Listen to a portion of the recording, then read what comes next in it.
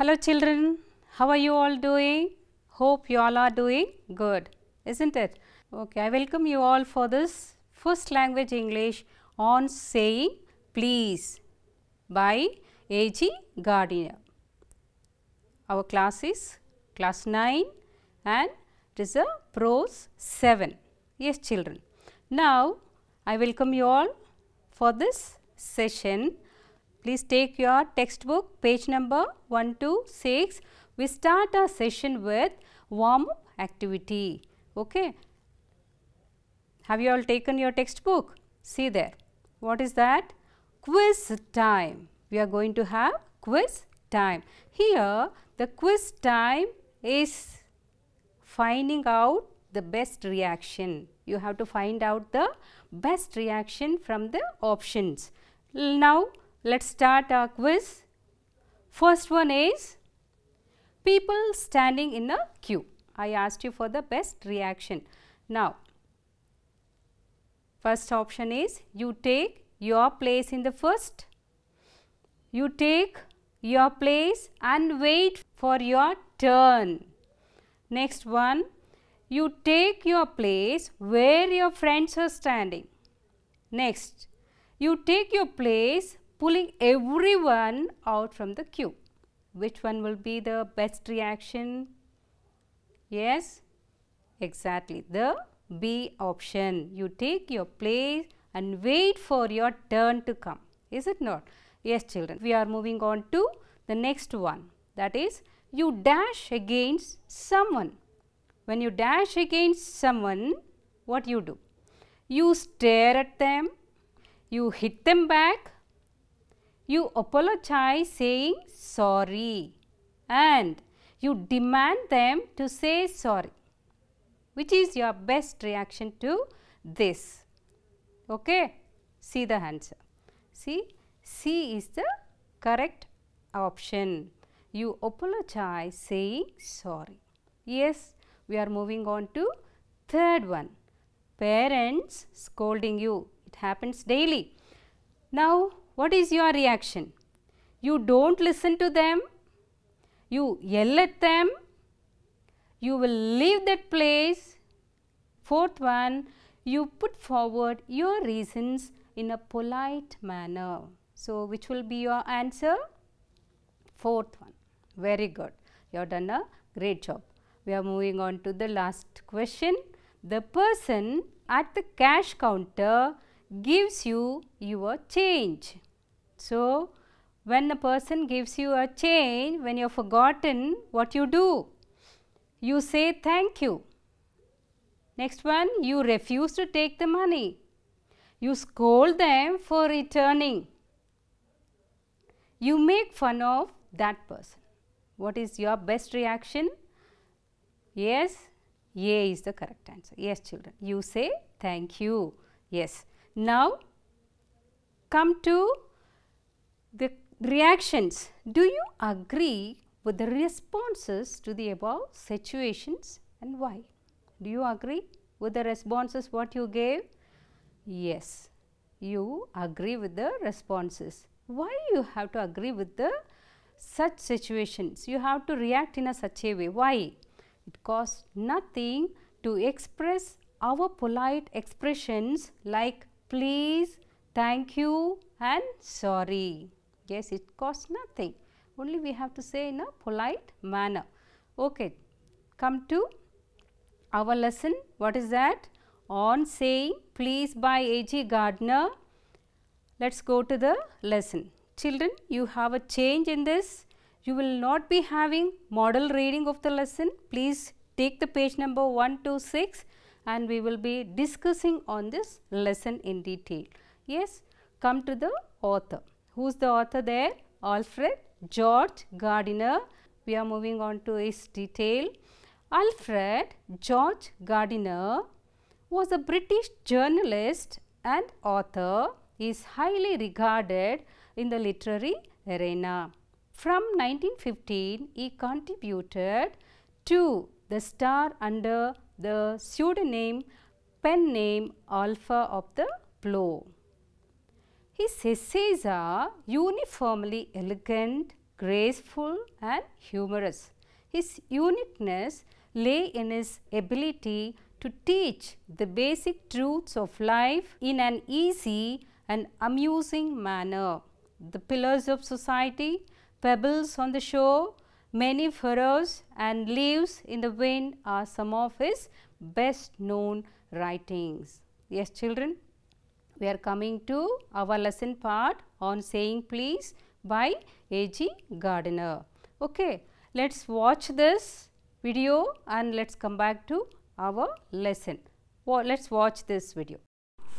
This is a liftman in the city office assisting passengers to move around in the lift to the different sections. Once, this liftman encountered an unusual passenger. That passenger just said top. Though the liftman insisted and reminded him to use top please. But the arrogant passenger repeated only top. Finally, the passenger was thrown out of the lift by the liftman. Yes, we infect the world with our ill humors, bad manners, probably do more to poison the stream of general life than all the crimes in the calendar. Yes children. Now come to the highlights of this. What did we noticed in that video? See, the passenger was thrown out of the lift for being impolite. He did not say, top please, but just said, what did he say? He just said top, isn't it? Now, we have to think the law cannot compel us to say please. No law can ask us to say please, but or to attune our voice to other people's sensibilities. There is no such law which comes and asks us to say uh, please or politely say sorry or such things. But it is our duty to say, our manner, good manner to say yes, thank you, please and it's, it's a polite way of behaving. What would be your reaction towards such an irritating passenger. If you come across any such kind of passenger, how would you react? Let's see. Our fist would never be idle. See what happens when we get tension, our hands, our fists start working. We feel like giving him back, isn't it? And the gutters of the city would run with blood all day and even our face, everything shows that we really are angry. What makes us to get angry in such situations? We have to think of this. See, main thing which makes us to get irritated because of our ego. We don't want to accept anything. So, our ego makes us to get angry with any such kind of reactions. Now, see, when we don't like their behavior. See, when they react differently with us, when we don't like their behavior, surely we will get angry. The tone of their voices. Really, some will be irritated when they hear their voices itself. The scowl on their faces, the face they have on, on the action they make, on the reaction they give on the faces makes us irritated, isn't it? So, in such kind situations, we really react in a different manner, but our focus, see how our author wanted to insist on us, why do not we say please? Why can't we use? Why ego is coming in between this please? So, let us stop using egos and start using please and kind polite way of expressions. Now come to that incident let us discuss in detail. The incident of the lift man and the passenger reminds us something. Yes, it makes us to think something to be civil to others in a social practice. When you go out, when you meet with many, how do you react with the people? So, it makes us civil.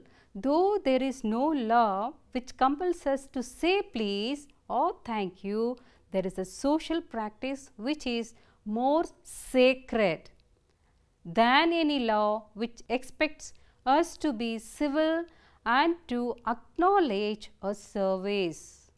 In the case of the liftman, the passenger was being uncivil and rude to him. So, most people would sympathize with the liftman. So, you accept the action of the liftman here, isn't it? See here, words like please and thank you are the little courtesies which we use in order to acknowledge a service. Yes, these little courtesies go a long way because they are the small change with which we pay our way as social beings. These little courtesies keep our machine of life oiled sweetly. They put our relationship with others upon the basis of friendly cooperation and easy give and take instead of on the basis of superiors dictating to inferiors. See now you have to observe here a word please, a word thank you makes a lot of difference. Here the author is narrating that it is making us more sacred than mechanical person. Some more things he adds the writer feels that the lift man would have had a more subtle and effective revenge. See there, here he specifies one option, one tips for us. What is that? Effective revenge if he had treated the gentleman with elaborate politeness. Elaborate politeness how? Then he would have had victory not only on the boorish gentleman but over himself because a polite man may lose the material advantage but he would always have the spiritual victory. We come across such people but we cannot go again same way how they treat us. We have to give what the tip he has been giving he is telling us to go with the elaborate politeness that makes our victory in a spiritual manner okay let's introspect on this liftman incident. What is that to introspect? See there. First thing, do we ask sorry when something goes wrong? And next one, do we greet our maid who works for us daily wages? Who works in our houses or maybe outside the garden or maybe in the road? Do we greet? So, we have to leave those egos Okay. Now, let us come to another point. Do we equally treat the peon or the watchman? Okay. Will you allow them to come and sit in your uh, dining table and ask them to eat? No. Some may not even allow them inside the house, isn't it? So, how we have to change our way of behaving, the manners, isn't it? We have to treat them equally. Do we move politely with elders especially with our grandparents and our parents? How do we move politely? See sometimes when grandparents call us and wanted to say something wanted to give something we just neglect them. You just think you having in that place. That time you really understand the pain. So you should move with elders politely okay children now we are coming to the polite conductor. See there how that conductor has taken the word. How many have taken such word, such kind word for your names? Do you remember anybody appreciating you like that? Polite, very good, anything like that? See, he has taken a good name called polite conductor. Let us watch this and come back. Okay. The author makes use of the character of the conductor to highlight the point that it is possible for every one of us to be polite on a day basis without losing anything. Once, when the author had forgotten his wallet and got into the bus, the conductor instead of asking him to get down, gave him the ticket, asking him to pay the next time.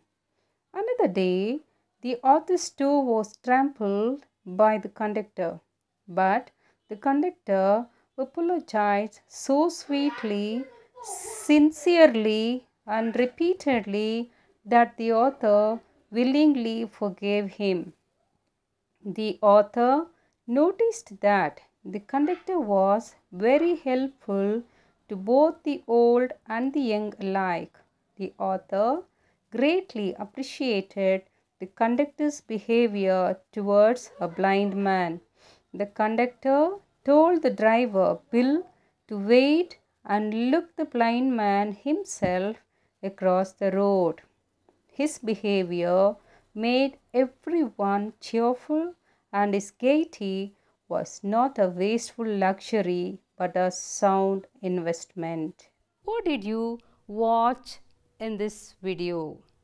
See, there are some unpleasant bus conductors who regard the passengers as their natural enemies.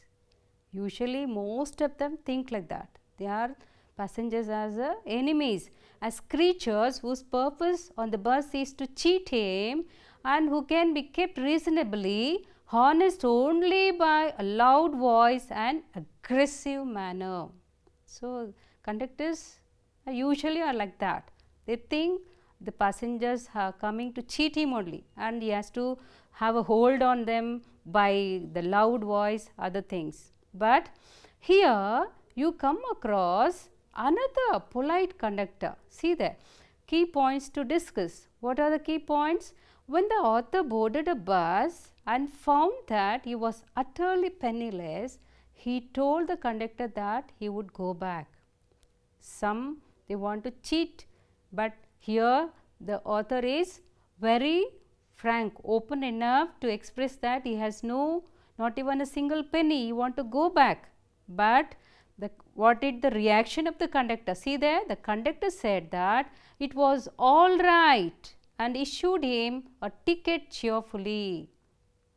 When the author wondered as to when to repay the amount, the conductor assured him that the author was likely to find him again sometime.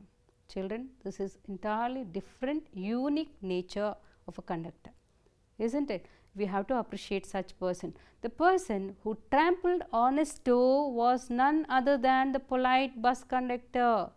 Again he meets with another incident there the author's toe was trampled. By whom? That same conductor. But how is that person's reaction, conductor's reaction? He had done so unawares. He was not aware of it. After that, what happened? After that, he was very apologetic too. He was so nice that the writer could only assure him that he was not hurt. Though he was hurt, the polite way of asking sorry made him to accept that it was not a big issue. And see there, he did several things to make the travel pleasant and comfortable. For example, if it was raining, we would run up to call the passengers inside the bus. See, he would come run to call them up. With old people, he was as considerate as a son. Who will be like this children? See there? And with children, he was as concerned as father. He went out of the way to help handicapped people. He would not only wait for an old man to get off, but also many a time he take a blind man across the road to make sure that he was safe on his way. We really is a great person. Though he is a conductor, his, his character, his behavior, his manners are highly dignified. We have to appreciate that person. Now, we are moving on to this. Do we come across good and bad situations in a single day? Yes. Do we come across in a single day good and bad? Yes. Here is one example. It is when we went to hospital I found an old lady who had no one to accompany her for the treatment was sent out of the registration counter for not having change with her. So, how unkind this is. As I noticed that women couldn't express anything to anybody because all those who were there were strangers. Now, what happens? How the situations? See there. Many strangers came forward to offer her the change. See, this is the great uh, uh, support that we all need. See, that society observed there and timely they helped, came forward to help her. They all turned out to be good. That helpless old woman joined hands in gratitude to everyone. This is the kind way of behaving, behaving to the one who helped us. Yes, we come across such situations. Now come to another situation. On the same day as a lift in a station was not working, I had a real tough time with my heavy luggage. Many young boys and girls passed by me without even looking in my direction. See, when we travel, the buses and all, we see many women or many elderly persons coming with luggages and even children, they carry children. We don't even have that concern to help. Some sit as if they didn't even notice. Some they come and ask for the seat, but we say that we don't want to offer that help. Yes. However, after I had climbed off a way through an elderly gentleman offered help restoring my faith in humanity. This is how we have to go about children. We have to offer our help. This is how you don't think that you don't get into any problems anytime, but time will never be the same for everybody every time. We have to we will also come across with some problems that time we need to offer our hand. Now children what what all the things we observe in this? The polite bus conductor had a fund of patience. He had lot of patience and he had a gift for making his passengers comfortable. All those who travelled with him were really finding happy. He radiated warmth towards youngsters and made them happy with his jests. This is how you have to be wherever you live.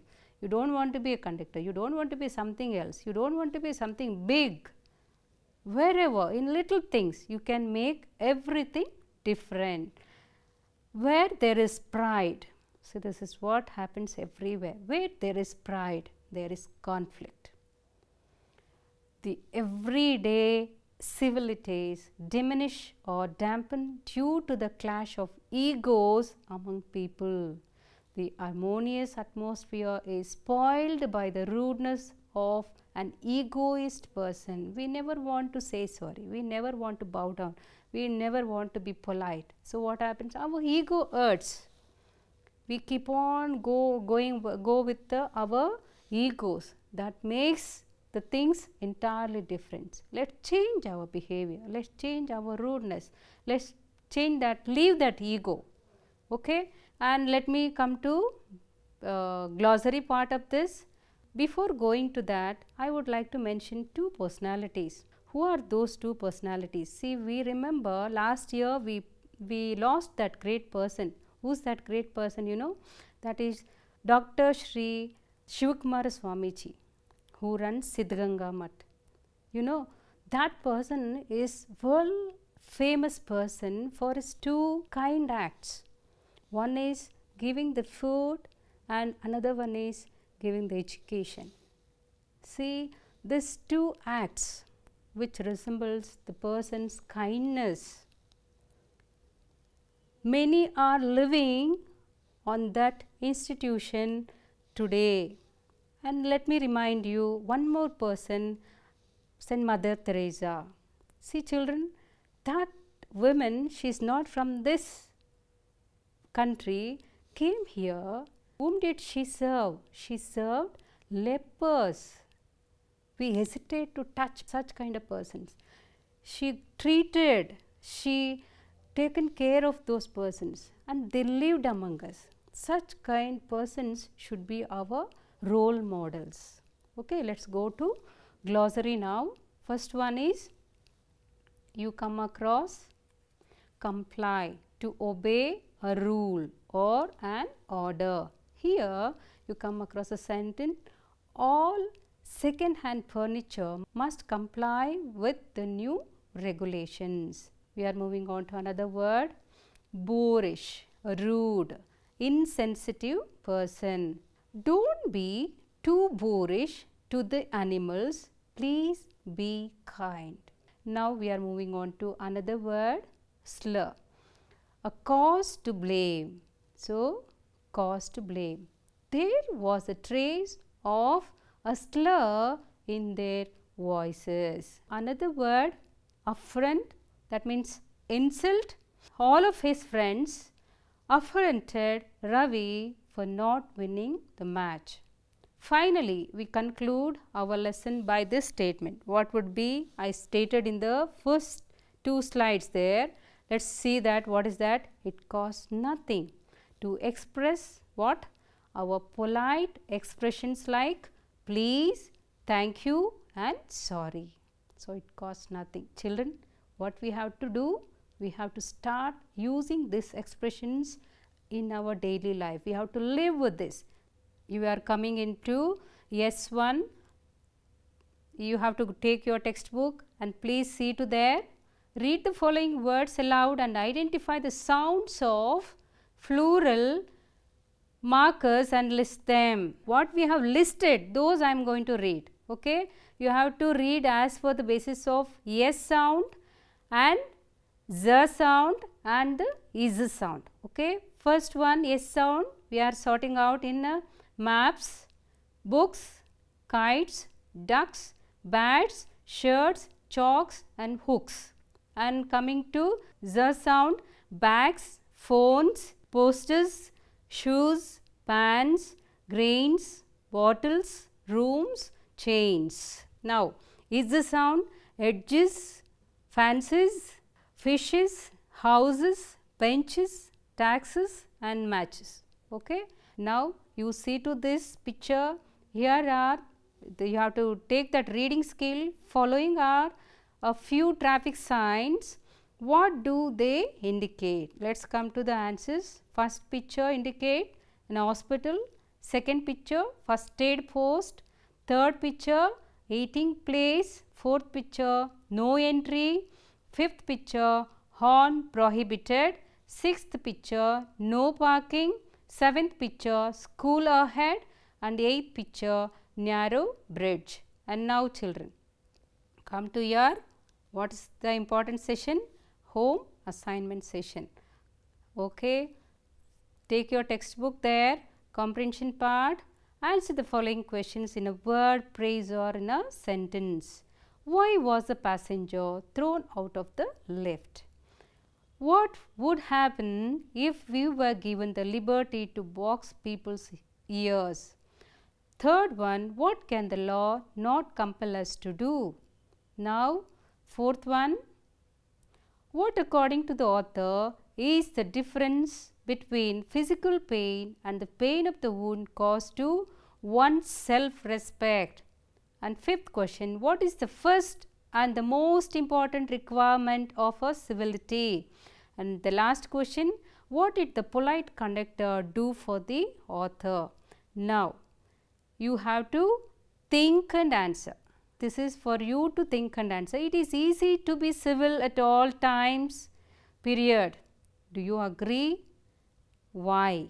Okay. If you are asked to recall a day in your life, what do you think makes you recall both the good and the bad? Okay. Suggest some ways of encouraging people to adopt civil behavior. Children, I come to the conclusion of this session. Hope you enjoyed this lesson and God bless you all. Have a blessed day. Thank you.